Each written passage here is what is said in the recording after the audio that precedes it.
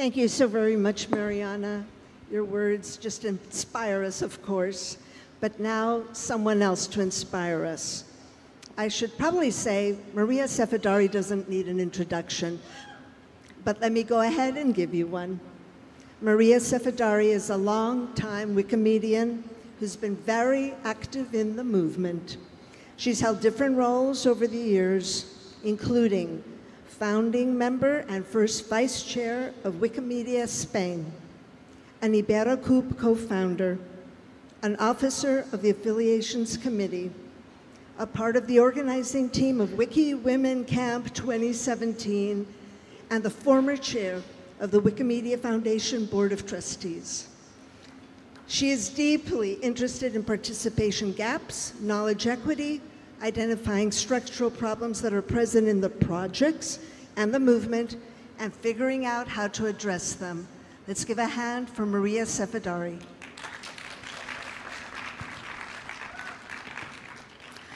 Thank you, Rosie. Uh, hi, everyone, in person and online. I'm going to be talking today about Wiki Women Camp, why we do it, and why I believe it's important that we keep doing it. First, let me start by saying that Wiki Women Camp is not an idea that one day just came out from thin air.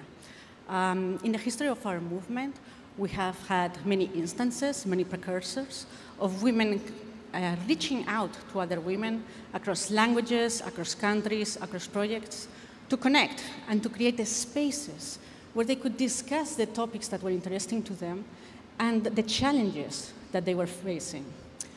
Um, something that was um, very interesting that started happening was that 10, 12 years ago, women were a minority.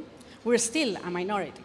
But when chapters started uh, being created, it wasn't strange at all to have all male boards. Maybe you had a woman on the board. Maybe you even had two women in the board. Um, but you started having women that were participating in the projects, they were editors. And now they started being chapter leaders. And so they need uh, to connect and to have spaces where they could discuss these challenges grew. And it was in this context in which uh, a member of the board of Wikimedia Australia reached out to the then executive director of Wikimedia Argentina and said, we need a space where we can get together and support each other and build the skills necessary for us to thrive in this movement. And it was very intentional to choose Argentina as a place where uh, English was not the dominant language, and so the agenda would be created in common by the people from different countries. Um, something really interesting that happened in this first camp was that the women that were very used to being the only women in the, in the, in the room started noticing that what was happening to them was actually happening to other women, regardless of language, regardless of project, regardless of country. And there was a shift in mentality, in a sense of uh, women that before that camp thought, you know, these things that are happening to me, maybe I'm just not good enough. Maybe I'm just not cut out to do this work. Suddenly started realizing this is happening to these women as well. Maybe it's not that I'm not good enough. Maybe these things are happening to me and they're not happening to the men just because I'm a woman. And that understanding, what made a, it, it created the realization, a very powerful realization of we are not alone. It created bonds of kinship in the sense of uh, we are together in this and we are sharing experiences. Uh, please remember, 10, 12 years ago, it was not common at all uh, to have an, a shared understanding of what microaggressions were, of what stalking was, of what harassment was. And so we're starting to identify and name situations and patterns of behavior that previous to that were absolutely normalized. The initial meetings were very small in scope. Um, in the very first one, uh, we were still trying to put the gender gap as a global issue that the movement needed to tackle. We were still trying to move away from explanations of uh, the, that went along the lines of, you know, women don't participate because they're not interested in technology.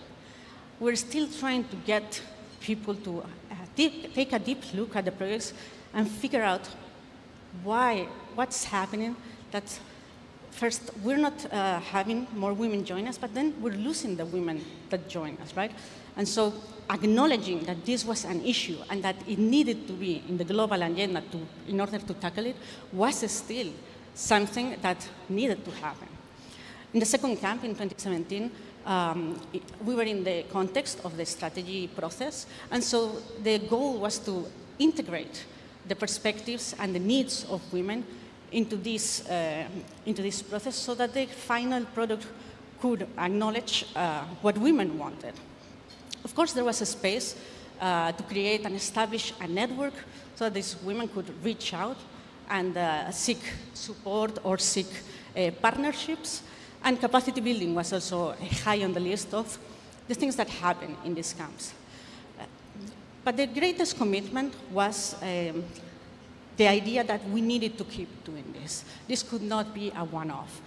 We needed to get, uh, keep getting together um, to create a community so that we could thrive we could support each other to be the best version of ourselves, to gain the skills that we needed, so that we could succeed in this movement. So it was, I think that it was really important that this could keep happening. I'm sure most of you have heard maybe once or twice that, you know, anyone can edit, anyone can participate, and if someone leaves, it's okay. Um, someone else will come and replace them if you pause and think a little bit about this, it's a slightly disturbing understanding of a, what a community is. And this is something that women can help change in our movement. If we understand community as something that can help you thrive, that can help you can help nurture you, be the best version of yourself, give you the skills to succeed, and that allows you to participate with joy in the projects. That would be the ideal. Um, and for a lot of men, this is the reality. But for women, not so much. And this is something that we can help incorporate in our movement.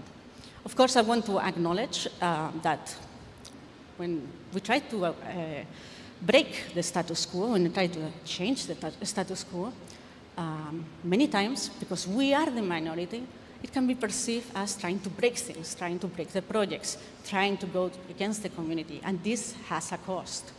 Um, regardless, it is really important um, that we focus on collective action. We need to be in the spaces where decision making and policy making happens. I want to, again, acknowledge how frustrating it can be to be sitting at the table with people that lack understanding or lack depth but have the equal ability to build or break, and sometimes break.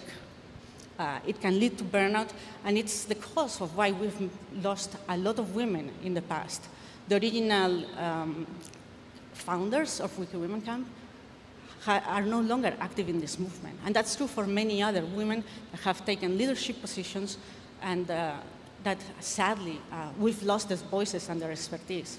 And yet it is important that we are present and that we don't work in the margins because sadly, if we are not at the table, uh, rest assured, we are going to be in the menu. And I want to instill in you um, a sense of urgency. Uh, there is a deadline. Right now, um, we are not in the ideal situation, but we do have support. And as you've seen, we have the support of the leadership of the foundation the CEO, the chair, they believe in this work. They're here supporting it. But maybe in the future, we might have leadership that deprioritizes the gender gap. Progress for women is not inevitable, and it is very, very important not to take it for granted. And so, the advantage or the great opportunity of Wiki Women Camp is that it allows us to reimagine the movement. We can take a look at the structures that conform our movement, and we can imagine how, would they, how should they be so that we could have a better inclusive movement. uh, from article quality to leadership positions to funding. Imagine if we shifted from mere countings of how many biographies of women do we have to, okay, how do we measure quality in articles related to women's health, abortion, gender violence? Um, how do we change access to leadership positions? Uh, what if for becoming an administrator, um, instead of focusing on edit count, we focus on the number of events or workshops that a person has led? Uh, and funding, what, it's funny because for funding, um, the groups that work the gender gap um, have to compete with groups that, for example, uh, work with trains. And don't get me wrong, I like trains, but it does feel odd that there's not a specific dedicated funding for, work, for the groups that specifically work the gender gap. And if we say that the gender gap is a priority, then we have to take action to show that it is a priority. And so Wiki Women Camp is this opportunity where we get together, we rethink the structures of the movement, and we, we try to reimagine how we can make a movement that's open and that's inclusive, and in essence, a better movement for all of us. Thank you.